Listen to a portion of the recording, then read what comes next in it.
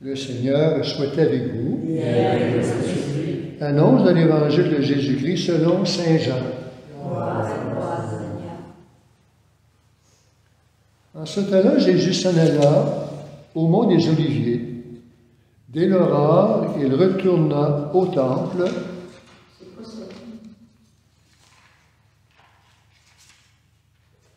Et comme tout le peuple venait à lui, il s'assit et se mit à enseigner.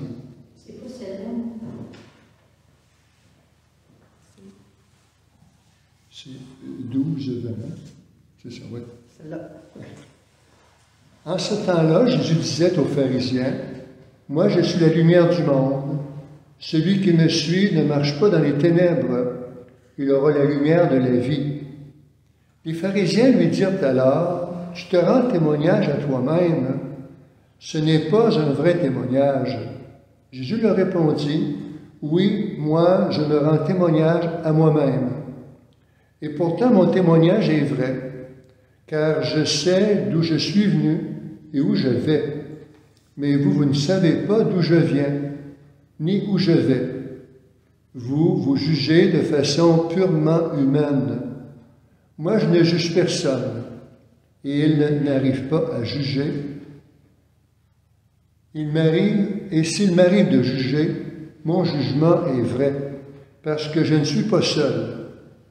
J'ai avec moi le Père qui m'a envoyé. Or, il est écrit dans votre loi que s'il y a deux témoins, c'est un vrai témoignage. Moi, je suis à moi-même mon propre témoin. Et le Père qui m'a envoyé témoigne aussi pour moi. Les pharisiens lui disaient, Où est-il ton Père? Jésus répondit, Vous ne connaissez ni moi ni mon Père. Si vous me connaissiez, vous connaîtriez aussi mon Père. Il prononça ces paroles alors qu'il enseignait dans le temple à la salle du trésor.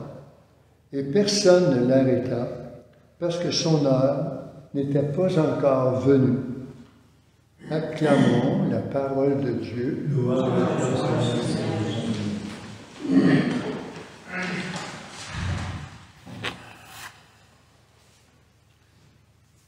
Le premier texte qu'on a entendu sur Daniel nous fait part de cette femme et qui s'est trouvée devant deux accusateurs hein, pour la faire mettre à mort, parce que cette femme, supposément, qui était mariée, ne voulait pas vivre l'adultère avec ses deux prétendants qui la harcelaient.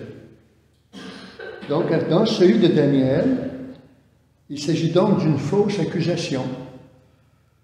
Et voilà qu'ici, hein, le Seigneur a permis hein, que sa prière ou son cri qui est monté vers le ciel soit entendu.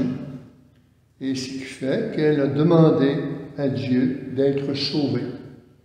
Et on voit ici que Daniel a été inspiré hein, de prendre la parole justement pour libérer cette femme Suzanne qui était accusée injustement. Alors, cette euh, premier récit hein, de Daniel nous montre que Dieu n'est pas sourd à notre prière.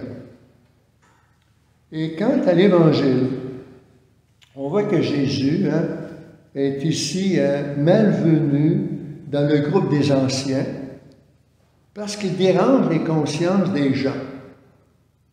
On l'accuse de se rendre témoignage à lui-même. Il invoque alors la loi selon laquelle un témoignage est crédible s'il provient de deux personnes. Alors Jésus précise qu'il est témoin de lui-même et que son Père en est le deuxième témoin. Mais ses accusateurs deviennent fermés et ne saisissent, pas hein, qui il est et d'où il vient. C'est pourquoi ici, hein, on voit donc Jésus hein, qui euh, n'arrive pas finalement à livrer son message pour être reçu de leur part.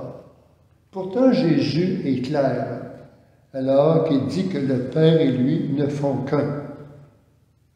Alors, ça peut nous apprendre que Jésus qui est le Maître, lui qui a été accusé, qu'on n'a pas reçu dans son témoignage, et nous annonce que, aussi en Église, comme baptisé, on peut être confronté à des gens hein, avec lesquels ils ne veulent pas recevoir le message de la foi.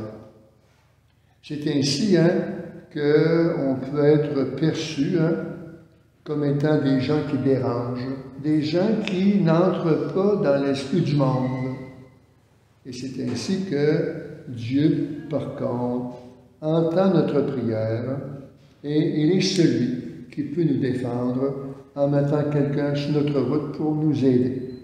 Fait que laissons-nous rejoindre par cette invitation du Seigneur à persévérer, même si nous sommes confrontés par des gens qui ont une autre parole. Amen.